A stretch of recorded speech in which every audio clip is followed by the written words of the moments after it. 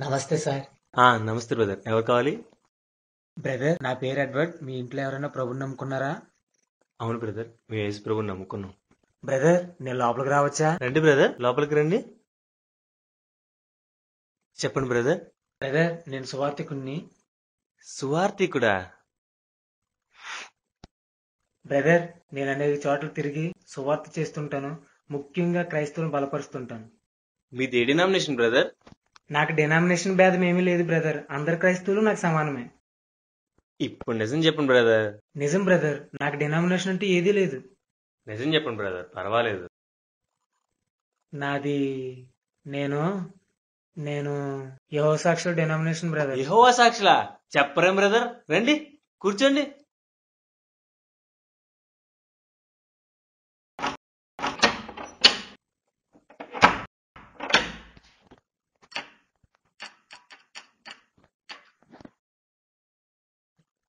ఆ బ్రదర్ చెప్పండి.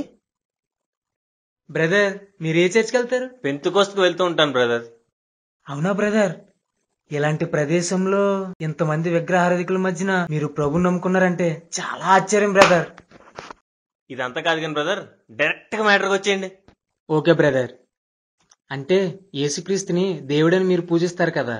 కానీ యేసుక్రీస్తు దేవుడని తను తను బైబిల్లో ఎక్కడా చెప్పుకోలేదు బ్రదర్ ఆ విషయం గురించి మాట్లాడడానికి వచ్చాను బ్రదర్ సరే యేసుప్రభు గురించి మాట్లాడుకుందాం.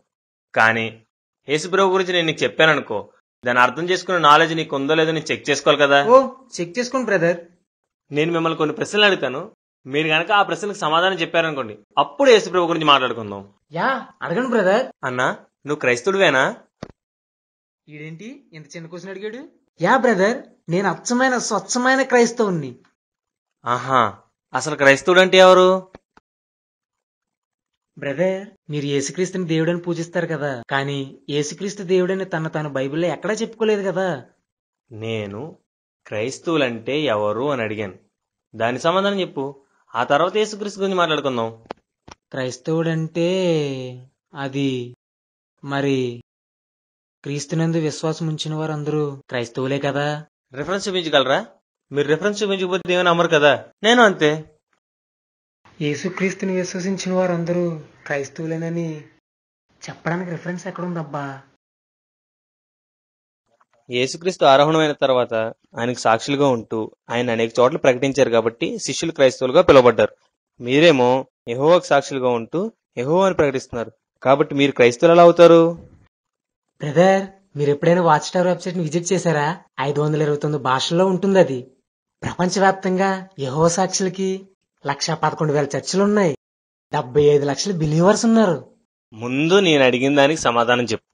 నువ్వు క్రైస్తవుడని ఏ రిఫరెన్స్ ఆధారంగా చెప్పుకుంటున్నావు? అది నేను స్టడీ చేసి చెప్పాను బ్రదర్. ఏం స్టడీ చేసి చెప్తావయ్యా? నువ్వు క్రైస్తవుడు కాదో స్టడీ చేసి చెప్తావా? నువ్వు క్రైస్తవుడు ఎందుకయ్యో స్టడీ చేసి చెప్తావా? సర్లే గాని మీ పేరేంటయ్యా? ఎహోవా సాక్షులు. చాలా వెరైటీగా ఉంది. ఎస్ దొరికాడు. బ్రదర్ మేమేం చెప్పినా ఏం చేసినా రిఫరెన్స్ లేకుండా ఏది చెప్పం. మీరు ఎప్పుడైనా యషయా నలభై మూడు అధ్యాయం పన్నెండో వచ్చును నలభై నాలుగు అధ్యాయం ఎనిమిదో వచ్చును చదివారా? అందులో ఉంది.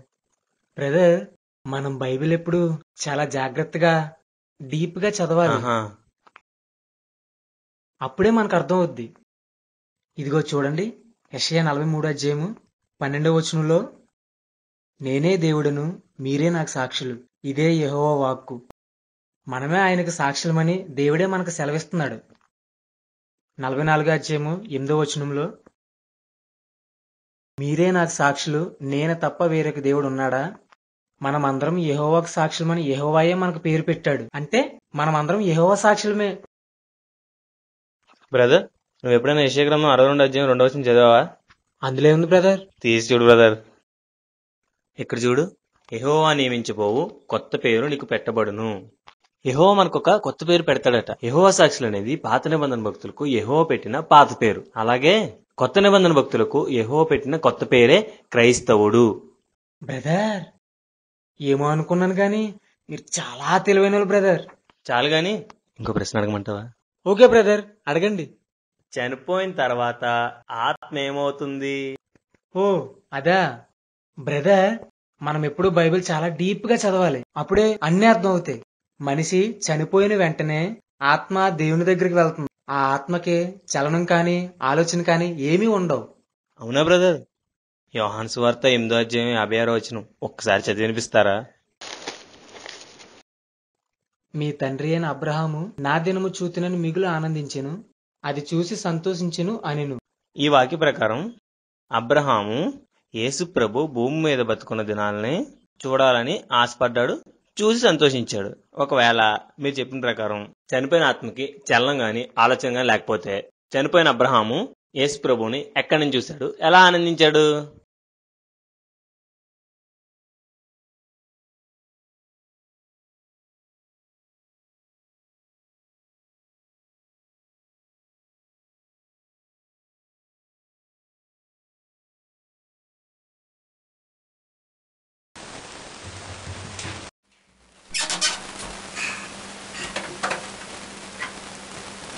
హలో ఎడ్వర్డ్ సార్ చెప్పు సార్ హలో సార్ కొంచెం గట్టిగా మాట్లాడు సార్ ఇక్కడ గట్టిగా మాట్లాడే పరిస్థితులు ఏమి లేవు సార్ అవునా ఏమైంది విషయం ఏంటి సార్ చనిపోయిన ఆత్మలకు చలనం లేదు ఆలోచన లేదని మీరు చెప్పారు కదా సార్ అవును మరి అలాంటప్పుడు అబ్రాహం యేసుక్రీస్తుని ఎలా చూశాడు ఎలా సంతోషించాడు సార్ ఓ అదా అది చాలా పెద్ద విషయం అయ్యా ఇలా ఫోన్లో చెప్తే అయ్యేది కాదు నువ్వు ఒకలా చెయ్యి చనిపోయిన పరిశుద్ధుల ఆత్మలకు చలనం గాని ఆలోచన గాని ఉంటాయి చనిపోయిన పాపుల ఆత్మలకు మాత్రం చలనం గాని ఆలోచన గాని ఉండవని చెప్పాయి ఓకేనా అలాగే సార్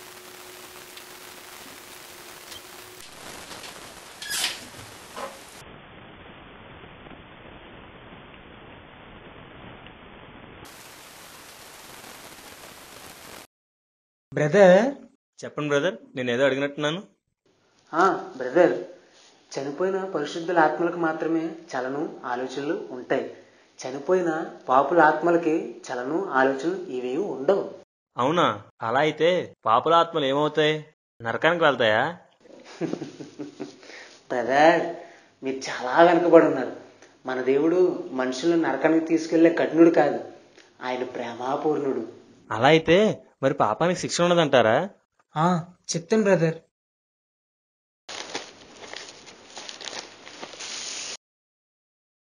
రోమపత్రిక ఆరాధ్యము ఏడో వచనంలో ఇలా రాయబడి ఉంది.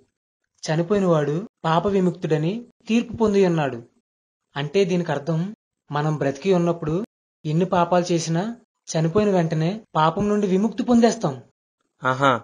ఇందాక చనిపోయిన పాపుల ఆత్మలకి చలనం ఉండదని అన్నావు కదా. ఆ. అలా అయితే చనిపోయిన ప్రతి ఆత్మ పాపం నుండి విముక్తి పొందుతుంది అని అన్నావు. అప్పుడు ఒక్కటి కూడా పాపపు ఆత్మ ఉండదు కదా. ఎలా చదివా బైబిల్ నువ్వు? రోమపత్రిక ఆరోగ్యం రెండో వచ్చిన ఇలా చెప్తుంది. పాపం విషయంలో చనిపోయిన మనము ఇక మీదట ఆ పాపంలో ఎలా జీవిస్తాం? ఇక్కడ చూడు. క్రీస్తు యేసులోకి బాప్తిజం పొందిన మీరందరూ ఆయన మరణంలో కూడా బాప్తిజం పొందుతారు. అని రాయబడింది. దీనికి అర్థం ఏంటంటే పాప శరీరపు విషయంలో మరణించిన మనము క్రీస్తు రక్తంలో కడగబడి ఆ పాపం విషయంలో మనము విముక్తి పొందుతాం. అంతేకాని ఇక్కడ చనిపోయిన వాడు పాప విముక్తి పొందుతాడు అంటే శరీర సంబంధంగా చనిపోయిన వాడు కాదు. పాపం విషయంలో చనిపోయిన వాడు అని అర్థం.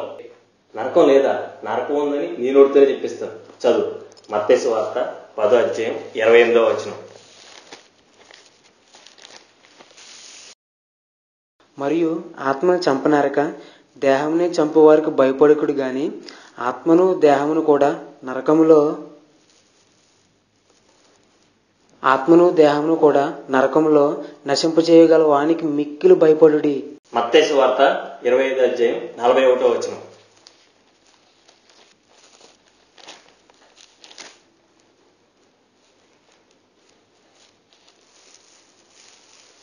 అప్పుడైనా ఎడమవైపున ఉండు వారిని చూచి నశింపబడిన వారిలారా నన్ను విడిచి అపవాదికిని వాని దోతలకును సిద్ధపరచబడిన నిత్యాగ్నిలోనికి నన్ను విడిచి అపవాదికిని వాని దోతలకును సిద్ధపరచబడిన నిత్యాగ్నిలోనికి పోవుడి. మార్కుసు వార్త తొమ్మిదో అధ్యాయం నలభై ఎనిమిదో వచనం.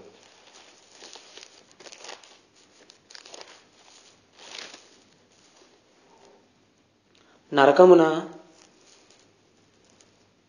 నరకమున వారు పురుగు చావదు అగ్ని ఆరదు.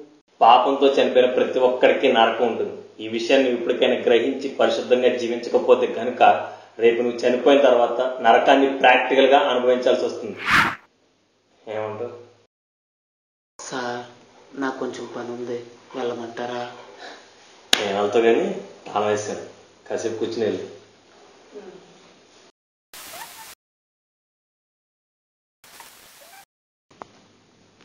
అయితే యేసుక్రీస్తు గురించి మాట్లాడుకుందాం సార్. ప్లీజ్.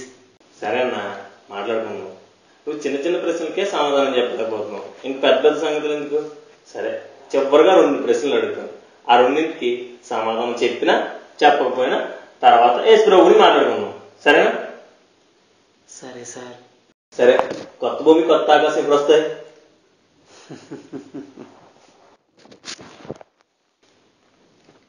బ్రదర్ మిమ్మల్ని చూస్తుంటే చాలా జాలేస్తుంది. అసలు కొత్త భూమి కొత్త ఆకాశం అనేవి ఉండవు. ఈ భూమి ఈ ఆకాశమే శాశ్వతంగా ఉంటాయి. రిఫరెన్స్ ఉందా? రిఫరెన్సా. ఇది మా కావలకోట వారు ప్రచురించే మ్యాగజైన్. ఇందులో గొప్ప గొప్ప మేధావులు బైబిల్ని పిండి దానిని వడపోసి కాన్సెప్ట్లు రాస్తారు బ్రదర్. ఇందులో రాయబడి ఉంది ఈ భూమే శాశ్వతమని ఈ భూమే భూ పరదేశం అని. నేను బైబిల్ రిఫరెన్స్ చూపించమంటే నువ్వేవో మ్యాగజైన్ తీసుకొచ్చి చూపిస్తావేంటయ్యా బైబిల్లో చూపించు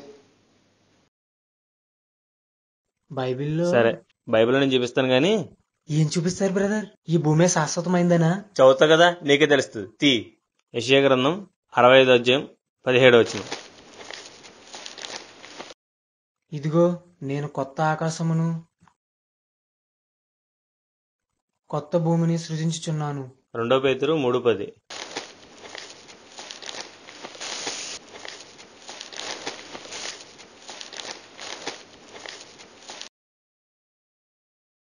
అయితే ప్రభు దినము దొంగ వచ్చినట్లు వచ్చును. ఆ దినమున ఆకాశములు మహాధ్వనితో గతించిపోవును. పంచభూతములు మిక్కటమైన వేండ్రముతో లయమైపోవును. భూమియు దాని మీదనున్న కృత్యములను కాలిపోవును. ప్రకటన గ్రంథం ఇరవై అధ్యాయం పదకొండో వచ్చును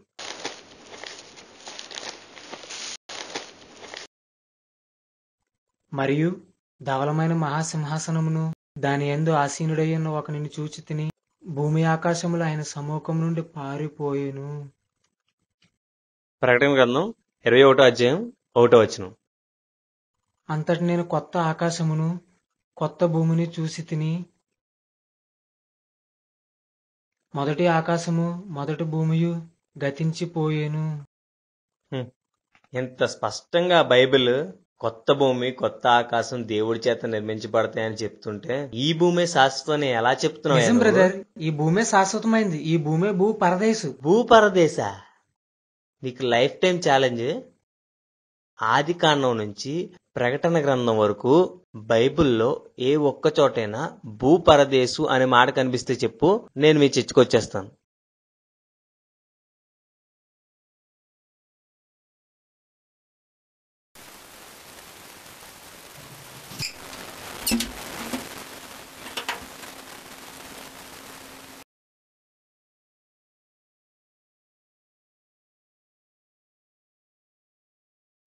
హలో సార్ హలో ఎడ్వర్డ్ చెప్పు హలో సార్ బైబిల్లోని ఎక్కడైనా భూ పరదేశం అనే మాట ఉందా సార్ భూపరదేశా అవును సార్ బైబిల్ అంతట్లో భూ పరదేశం అనే మాట ఎక్కడైనా దొరుకుతుందా సార్ దొరుకుతుందా సార్ నేను ఇప్పుడు బిజీగా ఉన్నాను తర్వాత ఫోన్ చేస్తానే bye sir sir sir sir sir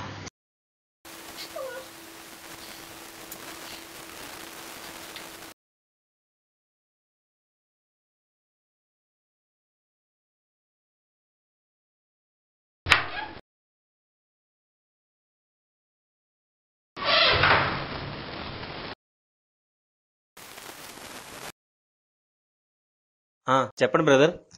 చెప్పండి బ్రదర్. సర్లే. మీరు రొట్టె ద్రాక్షసం ఎప్పుడు తీసుకుంటారు? బ్రదర్ ఇది చాలా గొప్ప మర్మం. రొట్టె ద్రాక్షరసం అనేది అస్తమాను తీసుకోకూడదు. సంవత్సరానికి ఒక్కసారి మాత్రమే. అది యూదుల పస్కా పండుగ నాడు మాత్రమే తీసుకోవాలి. సంవత్సరానికి ఒక్కసారి తీసుకోవాలా? రెఫరెన్స్ ఉందా బైబిల్లో? రొట్టె ద్రాక్షరసం పదే పదే తీసుకోవాలనడానికి మీ దగ్గర రిఫరెన్స్ ఉందా? ఉంది. ఎక్కడ? టీ. అపోస్తుల కార్యాలు రెండో అధ్యాయం నలభై రెండో వచ్చిన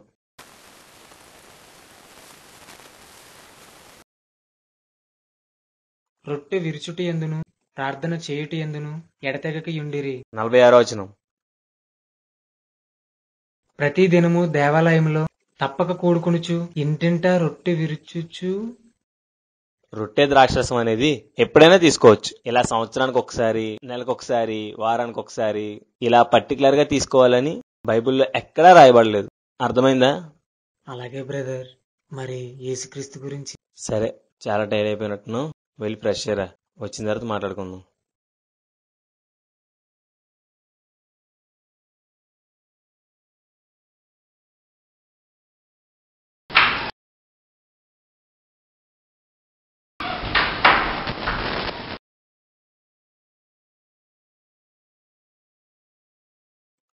బ్రదర్ ఆ చెప్పన్నా?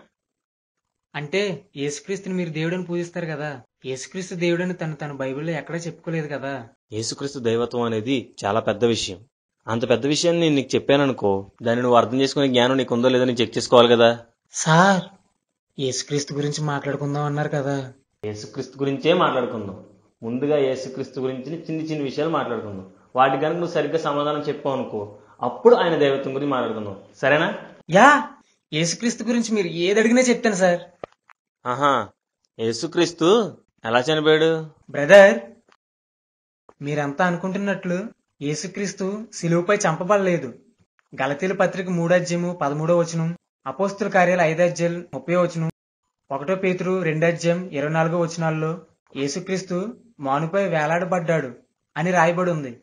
అంటే యేసుక్రీస్తుని నిలువు మాను మీద ఇలా చేతులు పైకి పెట్టి ఇక్కడ ఒక మేకు వేసి కాళ్ళలో ఒక మేకు వేసి వేలాడదీసి చంపేశారు బ్రదర్. అన్నా నువ్వు తీసుకున్న పాయింట్ చాలా బాగుంది. కానీ కానీ? నువ్వు చెప్పినట్లు యేసుక్రీస్తు కనుక చనిపోతే అతని చేతులు ఒక మెక్కు కదా కొట్టబడాలి? అవును. యోహాను సువార్త ఇరవై అధ్యాయం ఇరవై ఐదో వస్తున్న ఒకసారి తీసి చదువు.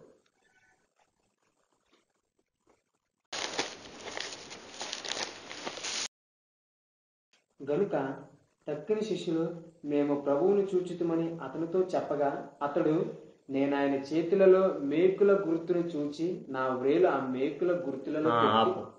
మేకుల గురుతులు అంటే ఒక మేకు కాదు నువ్వు చెప్పినట్లు కనుక యేసుక్రీస్తుని నిలువు మాను మీద వేలాడదీస్తే మేకులు ఎలా కొట్టారు మేకులు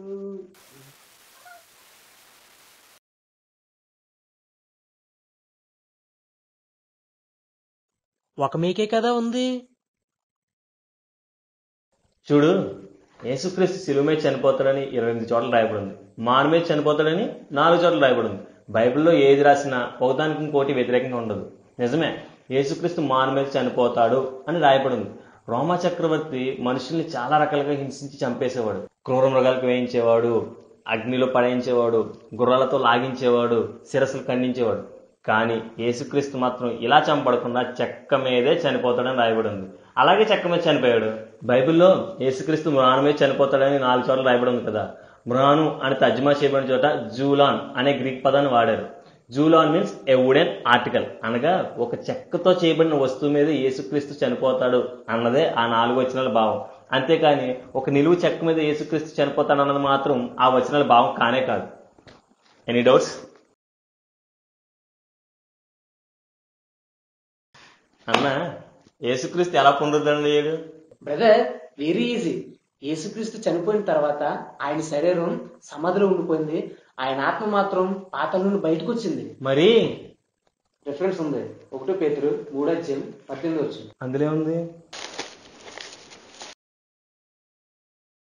ఎలయనగా మనలను దేవుని యొద్దకు తెచ్చుటకు అనీతిమంతుల కొరకు నీతిమంతుడైన క్రీస్తు శరీర విషయంలో చంపబడి ఆత్మ విషయంలో బ్రతికింపబడిను. అంటే దానికి అర్థం యేసు శరీర విషయంలో చనిపోయి ఆత్మ విషయంలో మాత్రమే బ్రతికాడు. అన్న స్మాల్ డౌట్. యా అడగండి. యేసుక్రీస్తు శరీరం సమాధిలో ఉండిపోతే ఆ సమాధికి వెళ్ళిన స్త్రీలకి శిష్యులకి ఆయన శరీరం ఎందుకు కనిపించలేదు? యేసుక్రీస్తు ఆత్మ మాత్రమే లేపబడితే సమాధి తెరబడాల్సిన అవసరం ఏంటి? అసలు యేసుక్రీస్తు శరీరం ఏమైనట్లు? చెప్పయా చెప్పు. తెలియదు సార్. తమ్ముడు గ్రీక్ బైబిల్లో నువ్వు చెప్పిన రెఫరెన్స్కి వాక్యభావం అలా లేదు. Jesus quicken in the spirit అనేది వాక్యభావం కాదు. Jesus quicken by the spirit అనేదే వాక్యభావం. అంటే యేసుక్రీస్తు శరీర విషయంలో మరణించి ఆత్మచేత లేపబడ్డాడు అనేదే వాక్యభావం. చూడు యేసుక్రీస్తు శరీరంతో లేపబడలేదు అన్నావు కదా? యేసుక్రీస్తు శరీరంతో లేపబడ్డాడని నీ నోటితో చెప్పిస్తాను. చదువు. మత్తేసు వార్త ఇరవై ఎనిమిది అధ్యాయం తొమ్మిదో వచ్చిన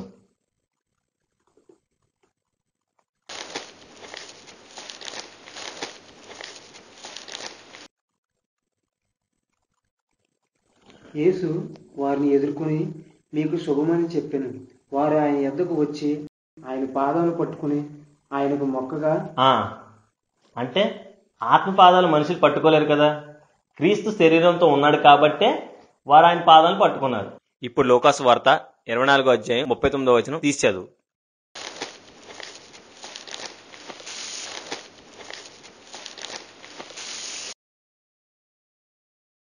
నేనే ఆయనను అనుటకు నా చేతులను నా పాదములను చూడుడి. నన్ను పట్టి చూడుడి. నాకున్నట్టుగా మీరు చూచుచున్న ఎముకలను మాంసమును భూతమునకుండవని చెప్పి దీన్ని బట్టి నీకు ఏమర్థమైంది ఆత్మకే ఎముకలు మాంసం ఉండవు. కానీ యేసుక్రీస్తు పునరుద్ధరణుడైన తర్వాత అతనికి ఎముకలను మాంసం ఉన్నాయి. ఇప్పుడు చెప్పు. యేసుక్రీస్తు శరీరంతో లేచాడా లేదా? సార్ మీరు యేసుక్రీస్తుని దేవుడని అంటారు కదా. యేసుక్రీస్తు మేమేమంటే నీకు ఎందుకయ్యా ఎందుకు యేసుక్రీస్తు నువ్వేమంటావు? డైరెక్ట్గా చెప్పు. అది మికైల్ దేవదూతే ఈస్క్రీస్తుగా వచ్చాడు సార్.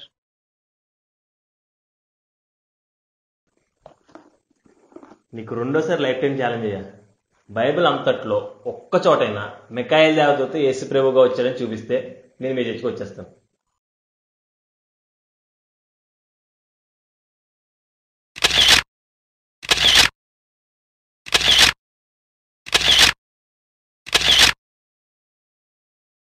హలో సార్ చెప్పు. మికైల్ దేవదూత యేసుక్రీస్తుని మొన్నే కదా క్లాస్ చెప్పారు అవును. అయితే మరి మికైల్ దేవదూత యేసుక్రీస్తుని రిఫరెన్స్ ఎక్కడుంది సార్ హలో సార్ మికైల్ దేవదూత యేసుక్రీస్తుని ఎక్కడుంది సార్ హలో ఎటువంటి నాకు సిగ్నల్ లేదు hello sir hello sir hello hello hello sir sir sir sir sir sir sir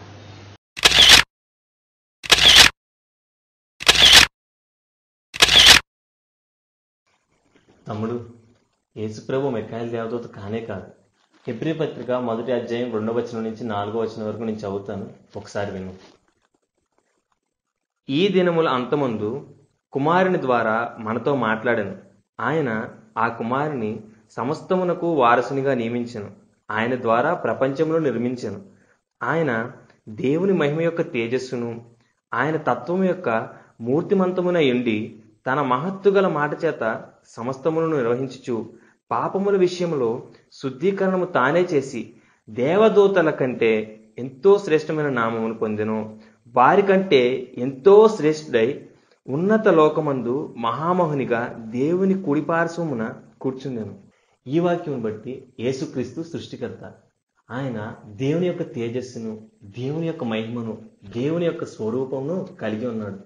ఆయన దేవదూతలందరికంటే ఎంతో శ్రేష్ఠుడు.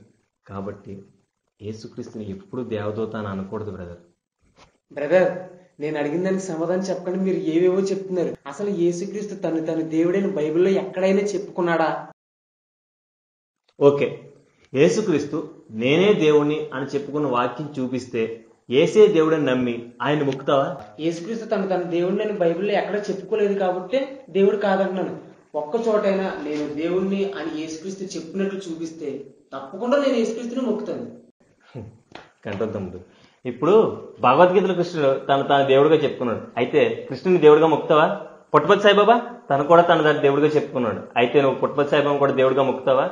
మొహర్ బాబా. తను కూడా తను తన దేవుడిగా చెప్పుకున్నాడు. అయితే మొహర్ బాబా కూడా దేవుడిగా మొక్కుతావా? అంత ఎందుకయ్యా? నేనే దేవుణ్ణి. నా కాదు మొక్కు. మొక్కను ఏ ఎందుకు మొక్కో ఏసు తను తాను దేవుడని చెప్పుకోలేదు కాబట్టి నువ్వు దేవుడు కాదంటున్నప్పుడు తను తాను దేవుడని చెప్పుకున్న ప్రతి ఒక్కడు నీ దృష్టిలో దేవుడే కదా? అంటే మరి బ్రదర్ ఒకడు తను తన దేవుడని చెప్పుకున్నంత మాత్రాన దేవుడు అయిపోడు. యేసుక్రీస్తు నిజంగా దేవుడైనప్పటికీ తను తను తగ్గించుకుని మనుష్య రూపంలో భూమి మీద అవతరించాడు కాబట్టి నేను దేవుడిని ఎక్కడ చెప్పుకోలేదు. అయినప్పటికీ బైబిల్లో అనేక చోట్ల ఏసే దేవుడని రాయబడింది. ఏంటి? అనేక మార్లు బైబిల్లో యేసుక్రీస్తు దేవుడని రాయబడి ఉందా. ఎక్కడ బ్రదర్? ఏ? చదువుతావా? యెషయా గ్రంథం తొమ్మిదో అధ్యాయం ఆరో వచనం.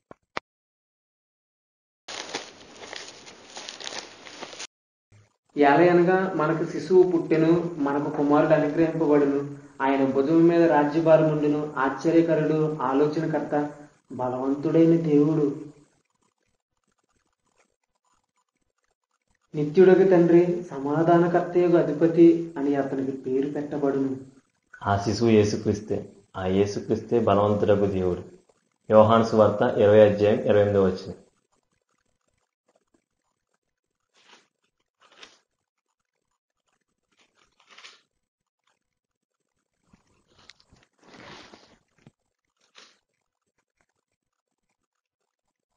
అందుకు తోమ ఆయనతో నా ప్రభువా నా దేవా అనెను. యేసు నీవు నన్ను చూచి నమ్మితివి చూడక నమ్మిన వారు ధన్యులని అతనితో చెప్పాను. ఇక్కడ తోమ యేసుక్రీస్తుని నా దేవా అని పిలుస్తున్నాడు. ఇప్పుడు రోమపత్రిక తొమ్మిదో అధ్యాయం ఐదో వచనం. శరీరమును బట్టి క్రీస్తు వీరిలో పుట్టెను. ఈయన సర్వాధికారి అని దేవుడై ఉండి నిరంతరము స్తోత్రార్హుడై ఉన్నాడు. యేసుక్రీస్తు సర్వాధికారి అనే దేవుడట. ఇప్పుడు తీతుకు రాసిన పత్రిక రెండో అధ్యాయం పదమూడో వచనం తీసి చదువు. మహాదేవుడును మన రక్షకుడునైన యేసుక్రీస్తు. యేసుక్రీస్తు మహాదేవుడట. మరలా ఒకటో యోహాను ఐదో అధ్యాయం ఇరవై వచనం తీసి చదువు.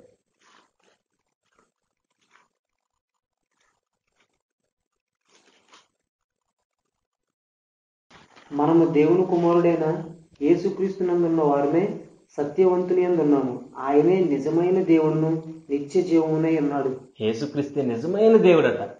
వీటన్నిటికంటే మరి ముఖ్యంగా యోహాన్ సువార్త ఓటో అధ్యాయం ఓటో వచనంలో ఇలా రాయబడింది. ఆది ఎందు వాక్యం ఉండెను వాక్యము దేవుని యొద్ద ఉండెను వాక్యమే దేవుడై ఉండెను. ఆ వాక్యం యేసుక్రీస్తే. ఇంత స్పష్టంగా బైబిల్లో యేసుక్రీస్తే దేవుడని రాయబడి ఉంది. బ్రదర్ యాహన్ సువార్త ఒకటో అధ్యాయం ఒకటో వచనం తర్జుమ చేయడంలో ఒక పొరపాటు జరిగింది బ్రదర్. పొరపాట? ఏం జరిగింది? బ్రదర్ గ్రీక్ భాషలో యాహన్ సువార్త ఒకటో అధ్యాయం ఒకటో వచనం ఆది యందు వాక్యం ఉండెను వాక్యము దేవుని యొద్ద ఉండెను వాక్యం ఒక దేవుడై ఉండెను అని రాయబడి ఉంటే దానిని ఆది యందు వాక్యం ఉండెను వాక్యము దేవుని యొద్ద ఉండెను వాక్యము దేవుడై ఉండెను అని తర్జుమ చేసేశారు బ్రదర్. అవునా? నేను ప్రశ్న అడుగుతాను. సమాధానం చెప్తావా? యా బ్రదర్ వై నాట్ యోహాన్ సువార్త ఓటో అధ్యాయం ఓటో వచనంలో రాయబడిన ఒక దేవుడు అనే మాట యేసుక్రీస్తు గురించేనా? అవును. ఆహా. ఇంతకీ యేసుక్రీస్తు ఎవరు? మికేల్ దేవత బ్రదర్ మరి ఇందాకేంటి యేసుక్రీస్తుని ఒక దేవుడు అన్నావు? సర్లే గాని దేవుళ్ళు ఎంతమంది? ఒక్కడే. అతని పేరు యెహోవా. మరి ఇందాక యేసుక్రీస్తు కూడా ఒక దేవుడు అన్నావు కదా అప్పుడు ఇద్దరు దేవుళ్ళు అయిపోతారు కదా? అంటే యెహోవా పెద్ద దేవుడు యేసుక్రీస్తు చిన్న దేవుడు చిన్న పెద్ద ఎలా ఉన్నా మొత్తానికి యేసుక్రీస్తు దేవుడని ఒప్పుకుంటున్నాను అనమాట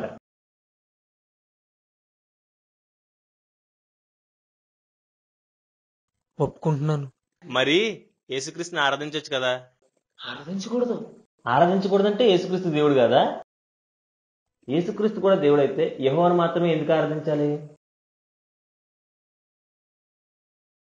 సర్లే గాని క్రీస్తు పూర్వం ఏడు వందల సంవత్సరంలో రాయబడిన యెషయా గ్రంథం నలభై ఐదో అధ్యాయం ఐదో వచనంలో నేను తప్ప వేరొక దేవుడు లేడు అని యెహోవా రాయించారు కదా.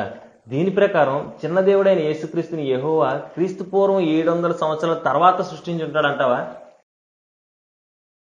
అంతే అంతే. అంతే అంతేనా అంతే అయితే క్రీస్తు పూర్వం ఏడు వందల సంవత్సరం తర్వాత యేసు అని ఈ ఒక్క దేవుడు సృష్టించబడితే ఇందాకేంటి నువ్వు? ఆది నుండే ఈ ఒక్క దేవుడు ఉన్నాడని అన్నావు?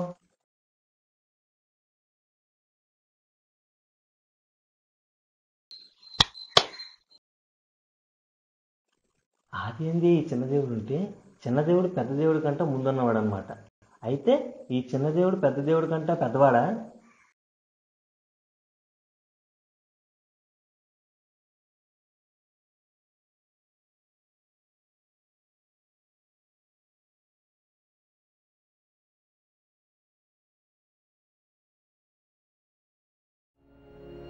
ప్రియమైన క్రైస్తవ సహోదరి సహోదరులకు మహాదేవుడైన యేసుక్రీస్తు నామంలో వందనములు.